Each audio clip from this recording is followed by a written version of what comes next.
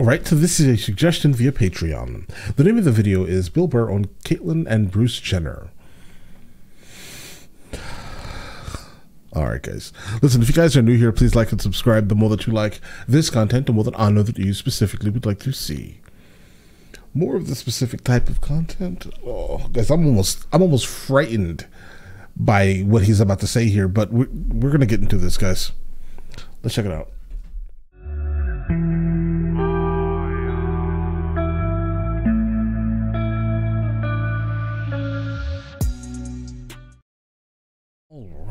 All right, guys. That's what killed me when Bruce became Caitlyn. That was like a national news story, like Yeah. on a- at a ridiculous level. Right. I will say that it was a little unnecessary. I mean, most likely it was so large because of who they were, right? It's like baby seals washing up on the beach because there's no fish left, and they're talking to this this lady, you know, like, so Bruce, are you gonna go? Can your Olympic back handle a D D cup, or are you gonna go with like something a little more perky? No, I'm not being a jerk. I'm not saying that in, in any bad way. I'm just saying. I miss that guy. I miss him already. He should have told us. He should have given us a chance to say goodbye. I love, you know, I watched him on the Olympics. Uh-huh. I watched him on Chips.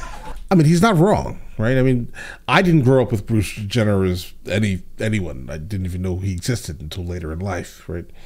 Um, but yeah, so I can imagine if you grew up as a kid and Bruce Jenner was like the man, right? The Olympic hero on the Wheaties boxes and things like that. I can imagine how it would be somewhat traumatic if that's what you looked up to as a child, right? Um, so, and now that he now all of a sudden he's gone, right? But I get it. You know, I watched him on the Olympics. Uh-huh. I watched him on Chips. I watched him on that horrible show my wife watched where he just walks around in the background. and then it's just like, Oh, the nobody listened to him. It's just, it was just, it was so sad.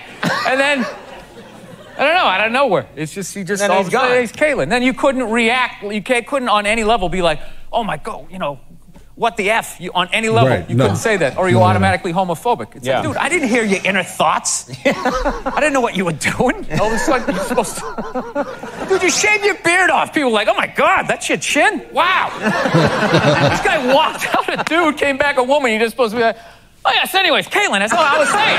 right. I mean, You know, this- this- he's making a good point, but absolutely, you definitely can't say anything regarding anything because in, at the end of the day, it's uh, you know it's it's their life, right?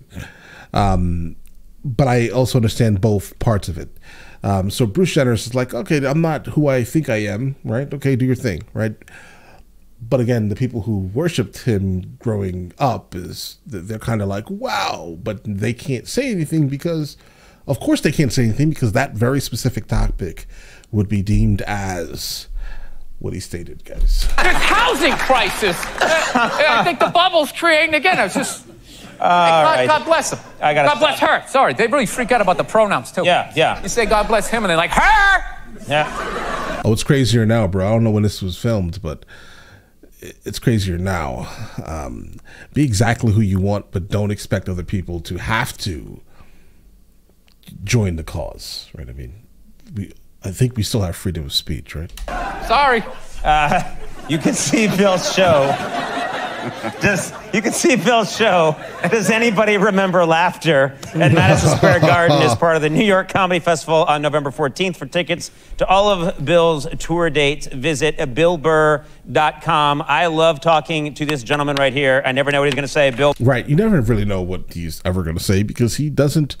I don't think he does either. Honestly, I think this is what makes Bill Burr such like an amazing comedian. I don't think he is even. I don't think he even writes or practices anything. He just speaks and is hilarious. Uh, to encounter someone who literally does not care what he is saying, right? This plain spoken, ornery man, right? That's Bill Burr, right? This is why I think we all love him and for the most part are attracted to his delivery. He's great at this. He's meant to do this very specific thing. I'm glad he found it, right? But all right, listen, now let me know in the comments of the next thing from him that I should be checking out, and I will get into that as soon as I possibly can, all right? Listen, you guys all have an absolutely amazing day. Enjoy it thoroughly.